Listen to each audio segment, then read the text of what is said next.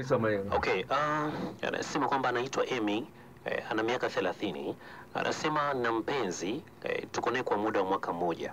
Eh, huwa anasema namwandaa eh, anajikuta anamaliza haraka sana, ila yeye hajawahi kuniandaa ipasavyo na sijawahi kufika, ila yeye huwa anajisifu kwamba eti kaniridhisha eh, eti kisa tu kuna unyevunyevu.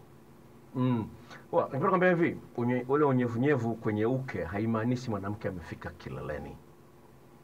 Unyevunyevu ule unaonyesha kwamba huyu mwanamke yuko tayari kufika kileleni na yametengenezwa mazingira ya wewe uweze kufikisha kileleni, kwa sababu vile ni vilainishi, ili msuguano unaotokea kama ni msuguano sahihi, mwanamke afike kileleni. Mwanamke anahitaji kuandaliwa kwa muda usiopungua dakika kumi na nne na pointi nane sawa na sekunde nane sawa.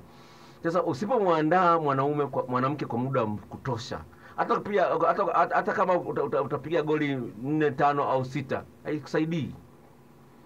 Kwa jambo la msingi uonyeshe unajali hisia na mahitaji ya mwanamke kwa kumwandaa kwa muda mrefu, na vile vile jitahidi kujizuia usio unawahi kumaliza. Kama una tatizo la kuwahi kumaliza, ninayo dawa. Dawa naiuza shilingi elfu thelathini itakusaidia usio usio nawahi kumaliza na iwe rahisi kuanzisha raundi ya pili au ya tatu ya nne. Sawa? Kwa hiyo tuwasiliane kwa hilo. Lakini cha msingi ambacho kuzungumza ni hivi kwamba usitegemee kwamba unyevunyevu ndio dalili kwamba mwanamke amefika kileleni. Ngoja nikwambie. Ili uweze kujua kwamba mwanamke amefika kileleni ni, ya, mambo hayo ya msingi kuwa kuangalia. La kwanza anza kuangalia mabadiliko ambayo yanaanza kuanzia upumuaji wake. Hilo la kwanza. La pili jinsi gani anashindwa kutulia. La tatu ambalo ni la muhimu sana kuliangalia pale mwanamke anapofika kileleni uke wake unabana uume. Uke wake unabana uume. Hilo ni jambo la msingi sana. Alafu utamuona mwanamke akima kama kweli amemaliza pale anapokuwa amefika kwenye ile hatua ya mwisho unasikia yaani unaweza kumwambia sasa unataka kutoka hapa, hajafika kileni anainuka haraka sana. Yaani kama anaenda chooni au anainuka lakini mwanamke ambaye amefika kileni kwanza anapenda kwanza atulie kidogo. Manake tayari ameshawekewa vitu vizito kwenye mwili wake. Sasa wewe ambaye hujui kumwandaa mwanamke mwanamke ana maeneo kumi na sita katika mwili wake ambayo anahitaji maandalizi. Taka mmoja akasema matundu kumi na sita. Sawa.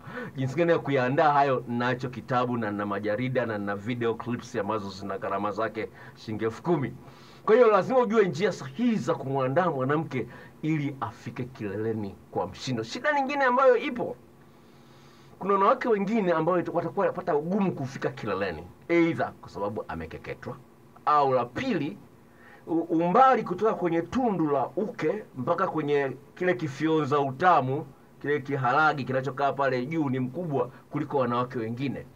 Kwa hiyo umbali unaotokewa unatakiwa sentimita mbili na nusu. Sasa ukizidi hapo ile kuingilia tu peke yake kuchikuchi kuchikuchi peke yake haiwezi kafikisha mwanamke kileleni so lazima usugue eneo lile.